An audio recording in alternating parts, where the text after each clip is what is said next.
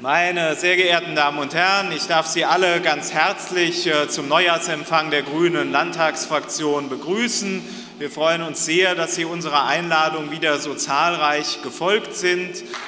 In Vorbereitung auf so einen Neujahrsempfang überlegt man sich ja immer, wie kann man das vergangene Jahr zusammenfassen und möglichst dann auch noch einen Ausblick auf das laufende Jahr geben.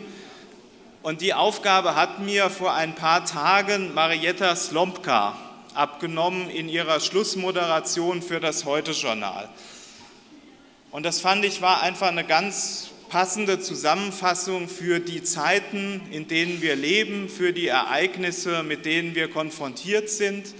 Es war wieder so einer der Tage, wo man nicht wusste, ob das jetzt alles wirklich eine Nachrichtensendung war oder eher im Bereich der Fiktion war. Und Marietta Slomka ging das ähnlich und sie beendete diese Sendung mit, meine Damen und Herren, das alles ist heute passiert, nicht irgendwann, sondern im Jahr 2017 und alles an einem Tag. Und ich fand, das ist eine ganz treffende Bezeichnung für die Zeiten, in denen wir leben. Es passiert ganz viel, was wir uns bis vor kurzem nicht hätten vorstellen können. Der Brexit, die Entwicklung in der Türkei unter Herrn Erdogan, das immer weitere Entfernen von einem demokratischen Land, die Vorgänge in Russland mit Herrn Putin, der Wahlsieg von Herrn Trump, die denkwürdige Amtseinführung von Herrn Trump und, und, und. Und es gibt viele Menschen in unserem Land, die sind verunsichert, die haben Ängste. Die fragen sich, wie geht das mit der Integration der Flüchtlinge? Die fragen sich, wie viel Sorgen müssen wir uns vor dem internationalen Terror machen? Sind wir sicher in unserem Land?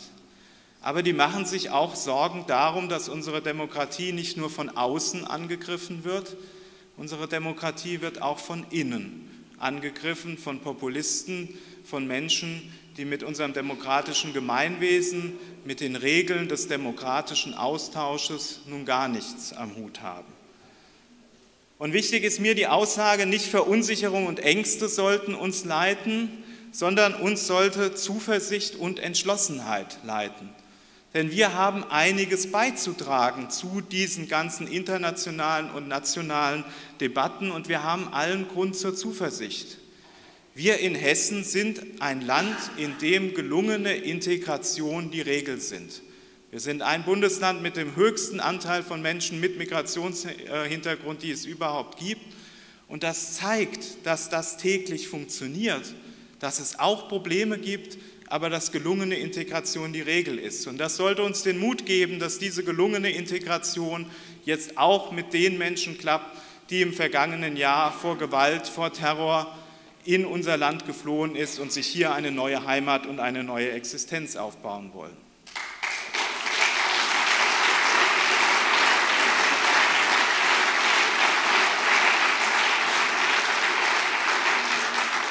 Wir sollten zuversichtlich und entschlossen sein, denn die Mehrheit, die überwiegende Mehrheit der Hessinnen und Hessen und auch der Menschen in ganz Deutschland steht zu dieser Demokratie. Sie wollen diese Demokratie und sie werden diese Demokratie auch verteidigen. Und vielleicht sollten wir den wenigen, vielleicht sind es 10 Prozent, vielleicht sind es 15 Prozent, die das nicht wollen, einfach weniger Aufmerksamkeit schenken und über die Leute reden, die unsere Demokratie zusammenhalten.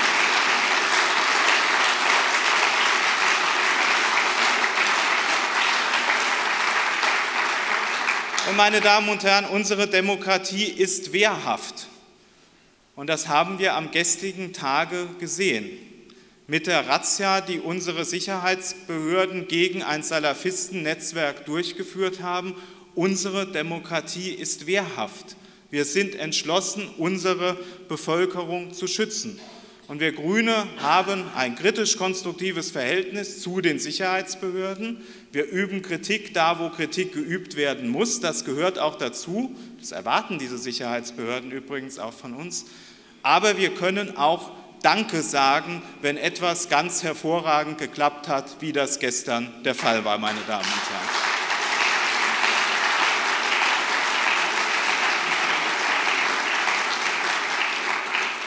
Und das zeigt, dass manches Gerede, manche politische Zuspitzung über den angeblichen Zustand unserer Sicherheitsbehörden schlicht und ergreifend nicht zutreffend ist.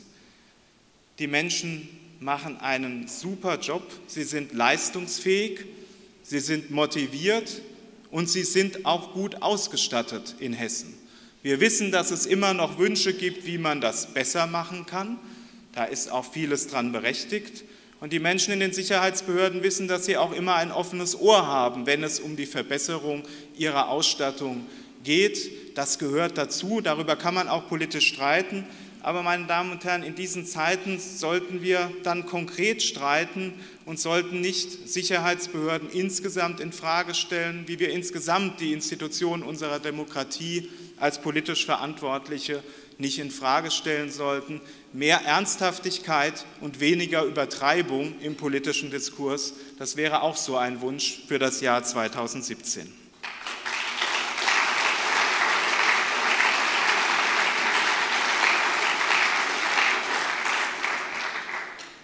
In diesem Jahr mit den Ereignissen, die wir haben, braucht man mehr denn je in der Politik Haltung und Orientierung. Und ich würde einfach mal sagen, wer jetzt noch nicht politisch ist, wer jetzt immer noch auf der Couch sitzt und glaubt, das hat alles mit mir nichts zu tun, wer sich jetzt immer noch nicht einbringt, dem kann man eigentlich nur zurufen, wann dann? Es steht wahnsinnig viel auf dem Spiel. Jetzt wird entschieden, ob es in Richtung Weltoffenheit oder in Richtung Abschottung geht.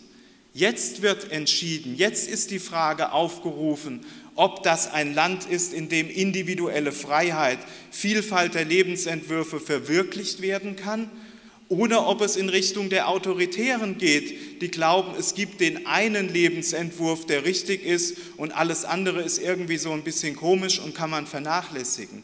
Jetzt wird entschieden, ob unser Land gerechter wird oder ob die Schere zwischen Armut und Reichtum immer weiter auseinandergeht. Und es kann doch nicht sein, dass die Hoffnung der abgehängten Menschen in Amerika, aber vielleicht auch in Deutschland, sich an einen Milliardär richtet oder an Parteien richtet, die für diese Interessen dieser Menschen nichts, aber auch gar nichts übrig haben. Darüber wird jetzt abgestimmt.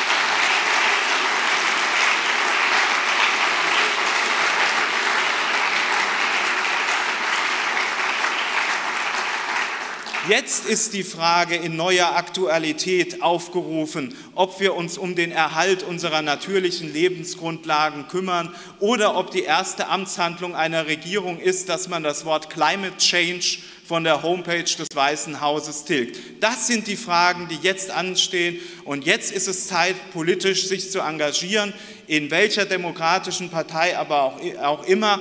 Aber jetzt ist die Zeit.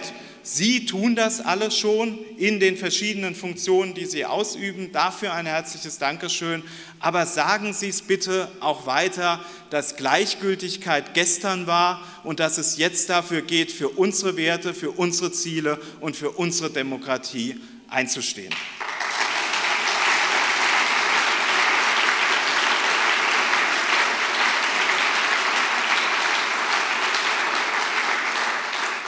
Ökologie, Gerechtigkeit, individuelle Freiheit, Weltoffenheit.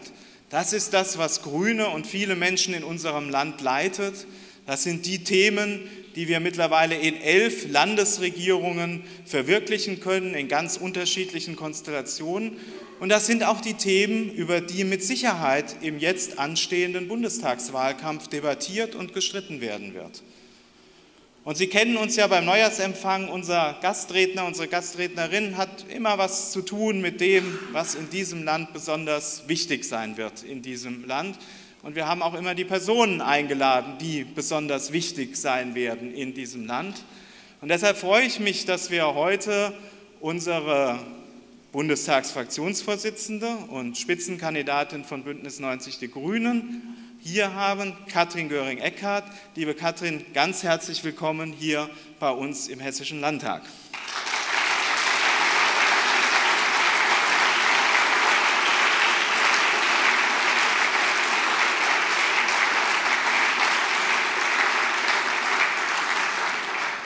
und wie die hessischen Grünen das hinbekommen haben, vorherzusagen, wer bei der Urwahl der Grünen Spitzenkandidatin wird. Auch dazu wird Katrin Göring-Eckardt uns jetzt ein paar Sachen sagen. Liebe Katrin, wir freuen uns, dass du da bist, dass du wieder da bist. Wir sind eng verbunden zwischen Thüringen und Hessen, aber auch politisch. Insofern ganz herzlichen Dank, dass du hier bist und wir freuen uns jetzt sehr auf deinen Beitrag. Herzlich willkommen.